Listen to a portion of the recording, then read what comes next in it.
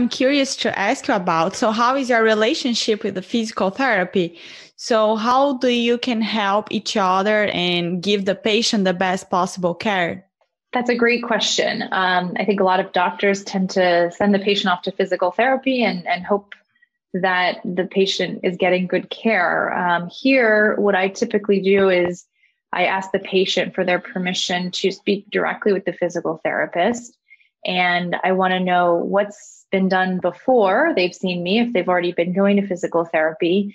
And then based on my exam, you know, maybe potentially what could we add, whether it's um, for example, if someone has a tight obturator internus, um, you know, has it, I want to know, has the therapist already been working on that? And if that's the case, then maybe we need to do an injection to allow that muscle to release.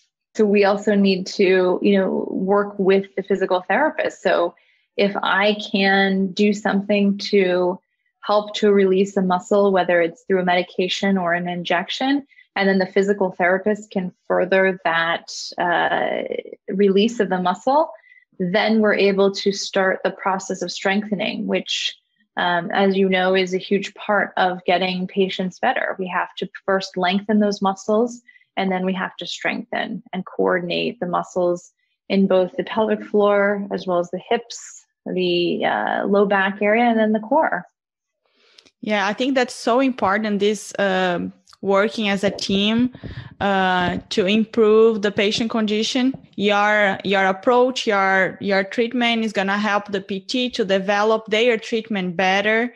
Uh, so I think it's just so important to have this uh, combination of both, and especially this connection and uh, communicating uh, physicians and physical therapists, and just for the best interest of the patient. So I think that's great. I would it would be great if all the doctors and PTs communicate that well and had better results potentially, right?